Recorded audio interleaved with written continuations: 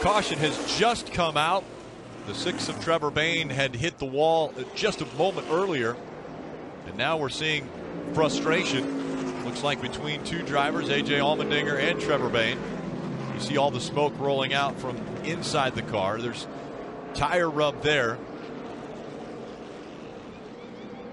And then the 47 just moments ago as well, coming up the racetrack trying to avoid the six, got sideways. Yeah, the six blew a tire because he had hit the wall about two laps before. In the middle of three and four, he had gotten into the wall and he drove into one. And right there, the tire's down, hits the wall.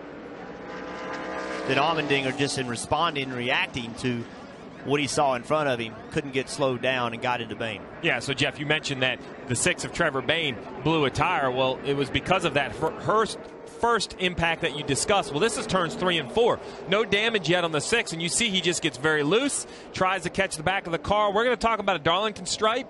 That's a Darlington crash. That is a little bit harder than a stripe. That went up, made contact. Jeff, you and I watched him for a couple laps. Obviously, the tire rub finally was too much for the right side tires, blew a tire, and then AJ Allmendinger Unfortunately, just wrong place, wrong time. Nothing the 47 could have done. Well, you mentioned Ryan Blaney. Looking at his damage, he had no choice but to pit when he pit when he got in the exactly. wall earlier. Well, Bayne and his team they kept running and and continued to run, blew the tire. Kelly.